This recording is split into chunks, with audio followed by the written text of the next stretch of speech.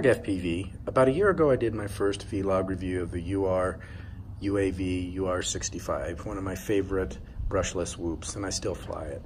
I started the channel to give back to the community and to provide a perspective of someone that is older that is new to FPV. My goal was to promote you are never too old to learn something new. So it's only fitting that I do an after the box is open a year later of the URUAV UR85 HD. Bushido, quite a mouthful. Uh, so um, I'll show you what you get in the box and I'll quickly go through the specs. Get this nice little carrying case, which I appreciate. Um, you get the Caddx V2 OSD controller board where you can set up uh, the um, Turtle V2 settings. Um, you get the instruction pamphlet here, which is very comprehensive. Uh, you do get some spare props and you get a battery strap and you get this XT30 to PH2 um, conversion cable in case you want to run 1S batteries. Um, you do get a prop removal tool. You do get a screwdriver and then also in this package you get some spare screws. In addition, you get the um, a 300 milliamp hour um, battery that's uh, 3S. And then finally, you get the, the Bushido itself. So I'll quickly go through the specs. So the wheelbase is 85 millimeters. Um, here is the weight that I measured with and without a battery. The motors are 1102 um, 9000 kV motors. They're ball bearing motors.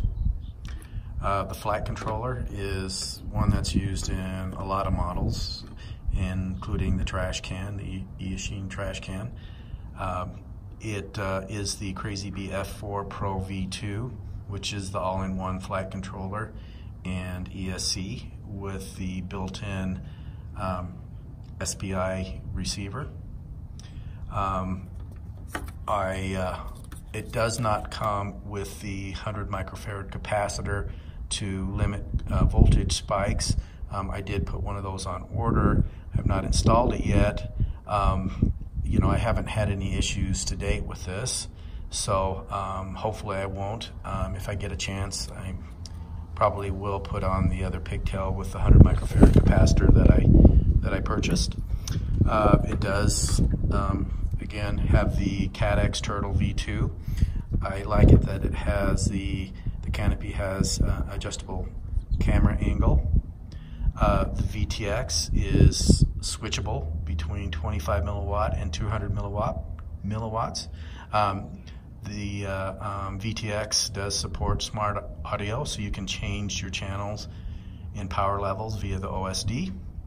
Um, it does, uh, again, I have the FrSky version that does support D8 and D16 modes. Um, it came in D8 mode. Um, I'm going to go ahead and leave it in D8 mode. I mean, I do hear that there are issues running it in D16. I've never confirmed that, but just to be safe, um, I've always been running the uh, Crazy Bees in uh, D8 mode. Supposedly, it, if you run it in D16, and again, I've never experienced this on uh, some of the other quads I have running in D16 that are Crazy Bee F3 flight controllers, where you get a lockup and it looks like you're, you're getting a failsafe.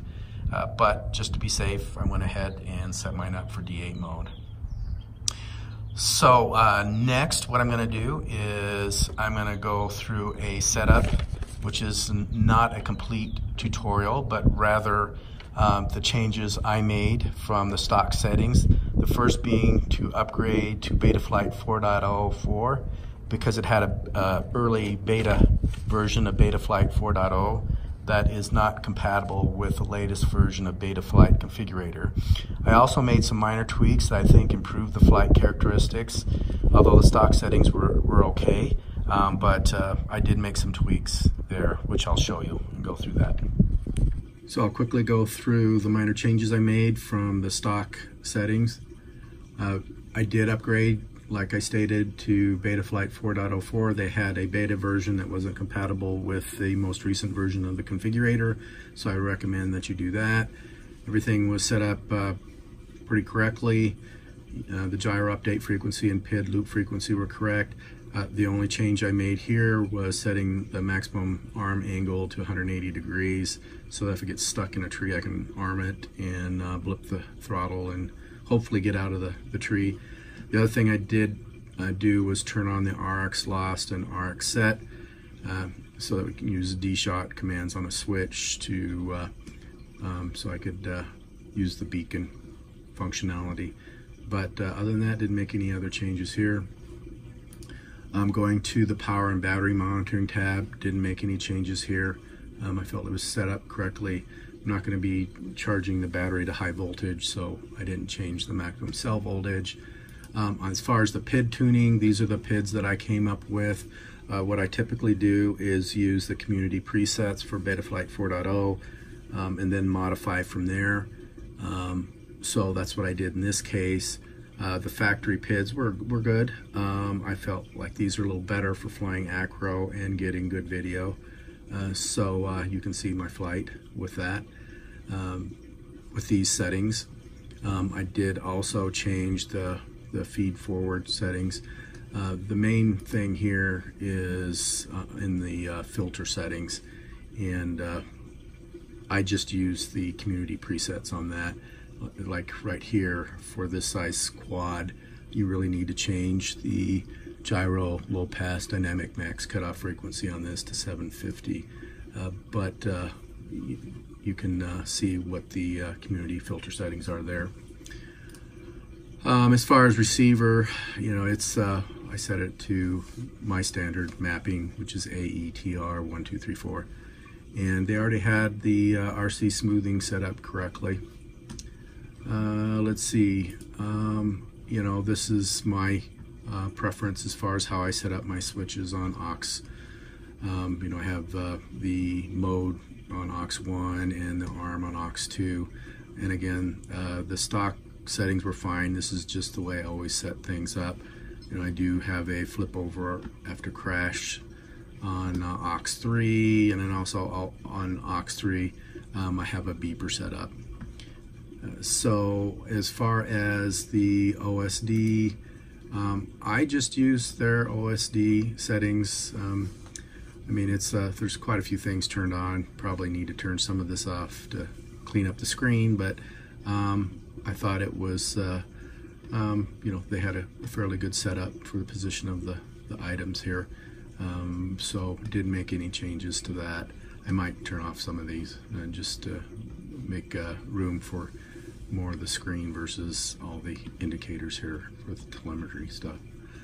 And other than that, um, that's it. So with that, I'm going to go ahead and show you um, some flight footage and then we'll go into my final thoughts on the UR UAV UR 85 HD.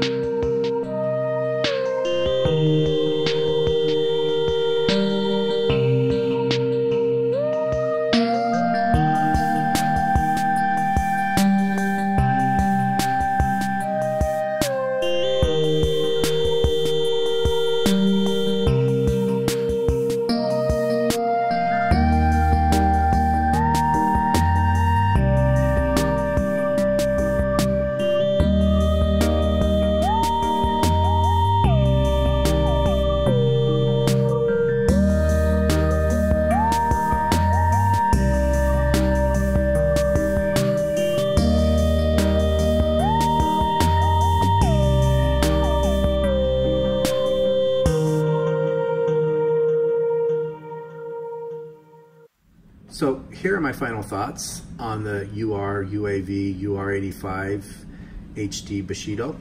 I think at $135.99, it's a good value as compared to other Cinewhoops in this class. Uh, they typically run um, retail about 150 to $160. Also, it's lightweight as compared to other 85 millimeter um, Cinewhoops in this class. Um, for example, the Beta 85X HD.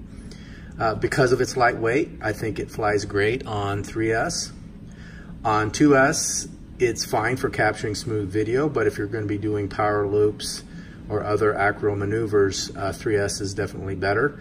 Um, you could see from my flight, um, I was bottoming out um, on 2S on power loops. Uh, but if you're just going slow, um, then 2S is fine. I do like that the camera angle is very adjustable from very flat for doing uh, smoother video capture to a little more aggressive angles if you're trying to do some acro, uh, light acro flying. I think the video quality is a lot better than I thought it would be with the stock props. Although I think I'm gonna be trying the Avan 2x2x4 props and uh, go with props out and see how well that works.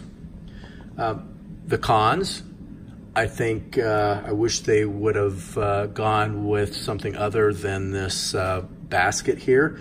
I did, they did supply you with a battery strap. Not sure how you would use that. You definitely would have to clip away the plastic basket here, but uh, it doesn't look like there's a good place to run the strap.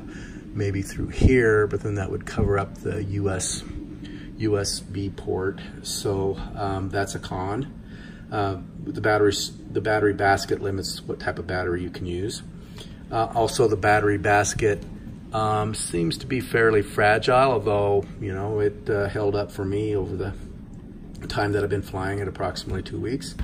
Uh, the range is definitely limited with the SPI receiver, um, but you could add an XM Plus if you wanted to get greater range. Uh, the other con is the you know the canopy design is is a good design as far as being able to adjust the camera, and it's pretty durable but you can't really get an ND filter in the canopy without trimming away uh, some of the, the canopy here. So that's a con. Um, so overall, these are you know minor minor nits. So I do think that the Bushido is worth the money, and uh, for that reason, I'm giving it thumbs up. So with that, I greatly appreciate you watching my channel,